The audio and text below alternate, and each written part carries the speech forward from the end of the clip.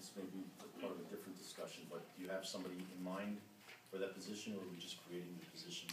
Well, no, the reason I brought it up was because we're doing promotions on March sixteenth, so that will go into the promotion process to add that extra sergeant. We're, already doing two lieutenants and two sergeants for, two lieutenants that are retiring. I thought now would be the time, so it's not something we're revisiting after the fact. Um, We're doing interviews for promotions.